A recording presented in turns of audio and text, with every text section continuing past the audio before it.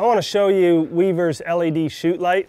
This is one of my favorite products. We use it all the time, whether we're working hair, clipping. Um, I'm going to show you how we put it up. It's fairly easy to do. I like these big long arms so they get it up, that light up and away from you.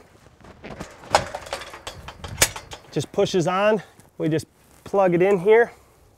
And you can see that, so a few things that I like about this are it gets light on the top you don't create shadows on the bottom because we're getting that light further away from us. And I think one of the most important features is these LED lights don't put off a large amount of heat.